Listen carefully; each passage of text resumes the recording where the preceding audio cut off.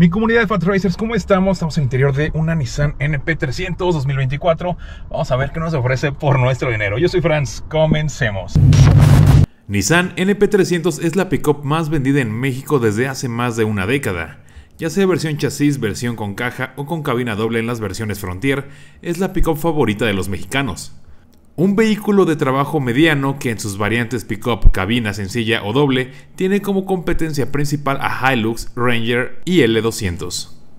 Que arranca para junio del 2024 para la versión chasis en 455.900 y llega hasta 470.900.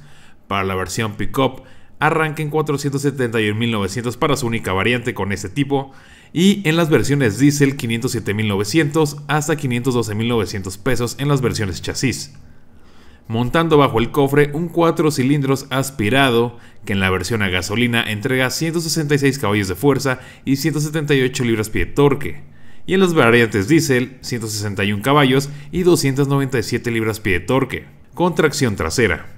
Y dependiendo de tus necesidades como tipos de pendientes y peso que quieras cargar, sabrás si requieres de la versión diésel o gasolina. Al exterior encontramos un lenguaje de diseño similar a Frontier, pero con más austeridad, con faros de halógeno, defensas en color negro mate, loderas dependiendo de la versión y sería lo más representativo. En cuanto a tecnologías en seguridad, podremos encontrar, dependiendo la versión, asistente de ascenso en pendientes, frenos ABS con EBD, 6 bolsas de aire en Frontier y 4 bolsas de aire en NP300 cabina simple, control de estabilidad, control velocidad crucero y monitoreo de presión de llantas. Las dimensiones serán de 5.06 metros de largo en chasis y 5.33 en la versión con caja, 1.79 metros de ancho y 1.77 metros de altura. Las dimensiones para la caja serán de 2.35 metros de largo, 1.56 metros de ancho y 4.72 centímetros de altura en caso de traer caja, pero si buscas la versión con chasis podrás montar lo que tú gustes. Finalmente en capacidad de carga 1.328 kilogramos a 1.434 kilogramos de carga dependiendo versión y la capacidad de arrastre para gasolina 1.588 kilogramos y 3.000 para las versiones diésel. Encontramos un volante amplio, plástico, obviamente en la categoría. Tenemos computadora de viaje al centro, clúster análogo. Tenemos radio para esa versión, aire acondicionado. Tenemos un área aquí para dejar algunas cosas o adaptaciones. Tenemos espejo tradicional día y noche. No tenemos espejos de vanidad, pero sí tenemos los parasoles. Tenemos portalentes. Tenemos iluminación de ambos lados. ¿Vale?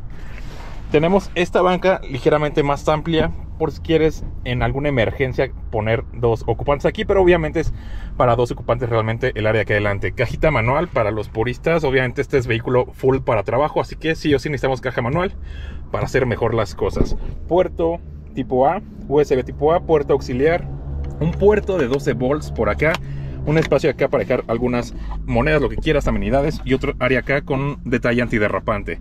Portavasos en la parte de aquí freno de matraca y ventanilla. Prácticamente sería todo lo que encontramos de amenidades en la parte de aquí. Para esta versión las ventanas son tradicionales, no son vidrios eléctricos. Y pues vestiduras en tela, portabotellas en las puertas. Y aquí otro espacio para dejar más cositas también.